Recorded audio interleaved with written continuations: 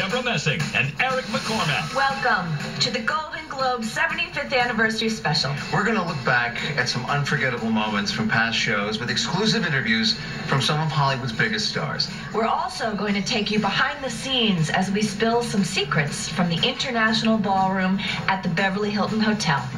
Remember all the ceremonies we've been to here? I don't. Because we did shots every time we lost, and we lost a lot. Yes, but according to others, we had a very good time. I hear that. We love having ringside seat at the Golden Globes, but it's also nice to watch them from the privacy of your own couch. No pressure to get all dressed up. pressure to put on makeup or Spanx or high heels. I don't have to do any of that either.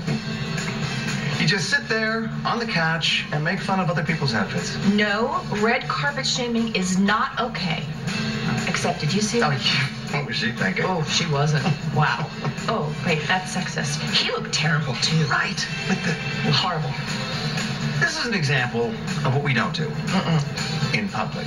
You at home can do as you choose. The show begins just out there on the red carpet.